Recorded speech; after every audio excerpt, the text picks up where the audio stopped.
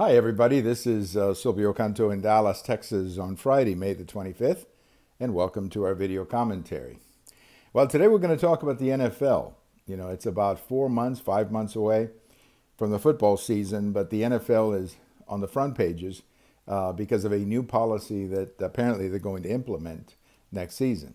I'm sure all of you remember the controversy last season with the flag and the national anthem and players kneeling during the national anthem and so on and so on. It became a real business disaster for the NFL. The ratings were down. Uh, they, they, took a beating. There's no other way to, to say it. And I think the owners understand that. They obviously are in business to make money, and they understand that a lot of the fans did not go for that type of behavior on the part of players. So they've come up they've come up with this, I guess, compromise or solution to the problem. They're going to issue a penalty, I guess, to the players who don't kneel or don't salute the flag and then they're also going to give the players the option of staying in the clubhouse when the national anthem or the pregame uh, fest- festivities uh, are happening. Look, I think this is a sign of weakness on the part of the owners. I'm frankly not very impressed. Number one, they're the owners, they're the boss, they own the team. They're the ones who sign the paychecks, or at least are responsible that the check clears uh, the bank. So these guys have a lot invested in the teams, not just money, but the value of their team is to a large degree uh, a brand, you know, something that they have to protect. Look at the way that Jerry Jones of the Cowboys will go out of its way to protect the brand of, of the Dallas Cowboys. So the owners are the ones who should be telling the players what to do. And what to do means you stand up and you salute the flag during the pregame.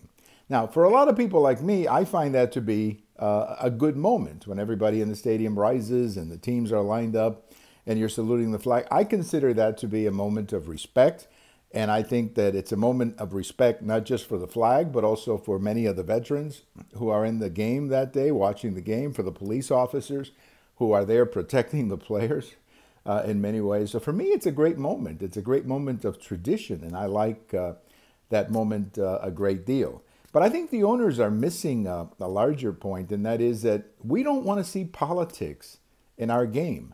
You know, we don't want politics in our face, as we saw with ESPN. ESPN is having all kinds of problems.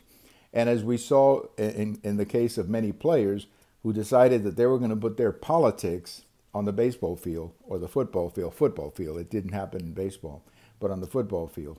And that I think uh, was a disaster for the league. So my message to the owners is to the owners is to get tougher and simply say, look, you play on my team. I'm the one paying your salary. You work for me. And these are the rules. And if you don't obey the rules, you're not going to be on the team. I mean, that's the way it works in just about every business. And why it doesn't work that way in the NFL, it used to work that way in the NFL. I don't know what happened uh, to the owners, but that's the way it needs to be. I mean, the fact is that the fans pay to see the game. They don't pay to hear politics. They don't want political demonstrations during the game. And that's the way it should be. And I hope the owners get tough. They get tough.